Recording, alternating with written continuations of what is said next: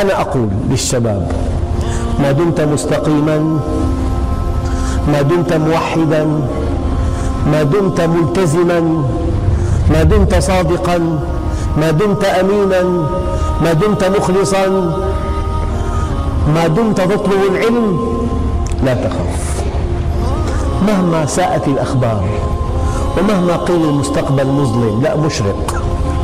ومهما قيل هناك مؤامرة على المسلمين على مستوى الأرض. كلام بكلام. والله غالب على أمره ولكن أكثر الناس لا يعلمون. إخوة يوسف أقوياء أشداء أرادوا أن يموت. وضعوه في البئر. ما الذي حصل؟ أنه أصبح عزيز مصر. ودخلوا عليه وهم صاغرون.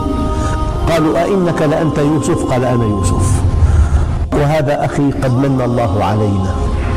سيدنا موسى سيدنا إبراهيم يا أخوان إذا كان الله معك فمن عليك؟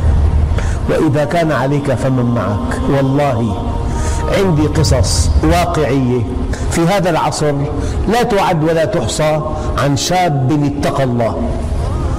تهيأ له عمل. وزوجة صالحة وبيت وأهل وأولاد أطهار. لك عنده حق دقق الإله العظيم خالق السماوات والأرض. أنشأ لك حقا عليه. أنشأ لك حقا عليه.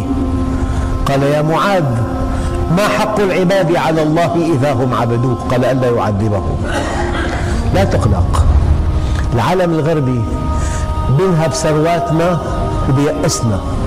أنه في مجاعة عالمية في نقص مواد غذائية سوف يكون هناك اضطرابات الآن بالأخبار من أجل غلاء الأسعار. الله موجود. أنا أدعوكم للكسب وللأخذ بالأسباب لكن لا تسمح لإنسان بعيد عن الله أن يوقعك في اليأس. لك عنده حق.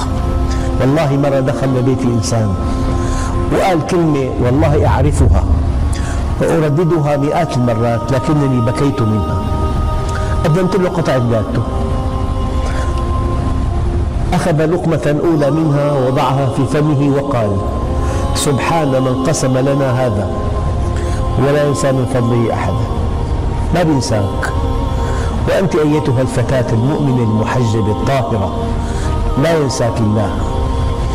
إياك أن تتوهمي أن التفلت أحد أسباب زواجك أبدا.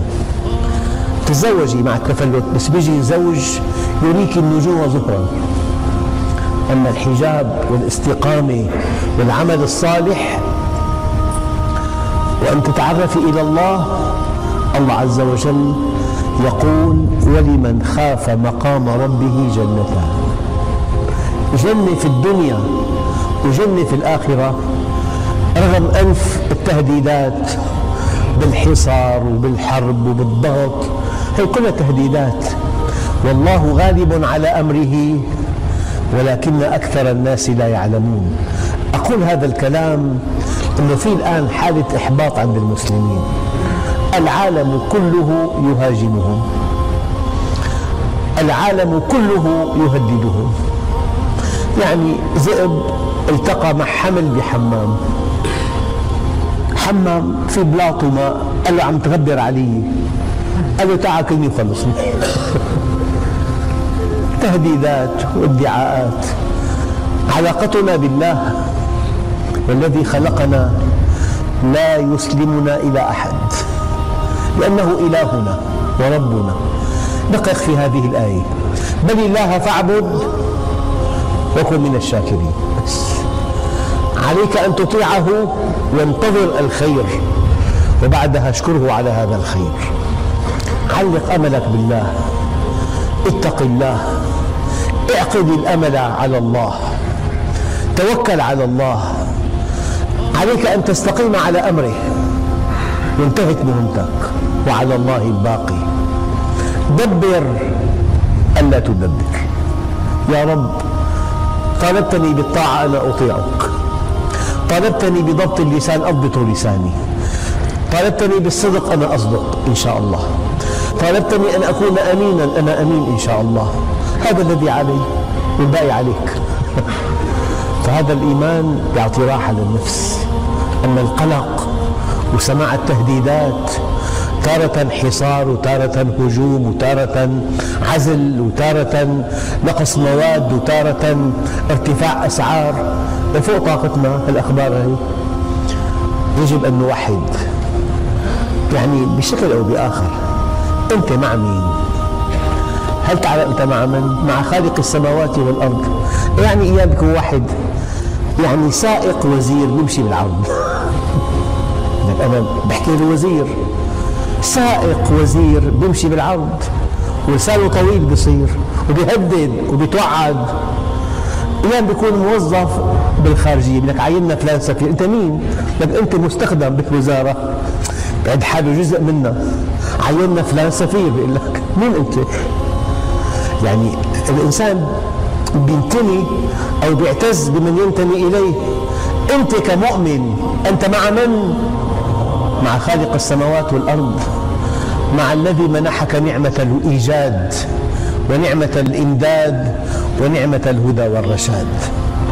كن مع الله ترى الله معك واترك الكل وحاذر طمعك وإذا أعطاك من يمنعه ثم من يعطي إذا ما منعك. أطع أمرنا نرفع لأجلك حجبنا فإن منحنا بالرضا من أحبنا. ولذ بحمانا واحتمي بجنابنا لنحميك مما فيه أشرار خلقنا. وعن ذكرنا لا يشغلنك شاغل وأخلص لنا تلقى المسرة والهنا. وسلم إلينا الأمر في كل ما يكن فما القرب والإبعاد إلا بأمرنا. فيا خجلي منه إذا هو قال لي أيا عبدنا ما قرأت كتابنا؟ أما تستحي منا ويكفيك ما جرى؟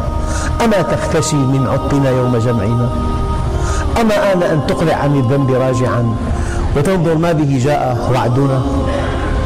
الأبيات طويلة لكن أيها الإخوة المسلمون اليوم في أمس الحاجة إلى التوحيد. ما في إلا الله. والله كبير.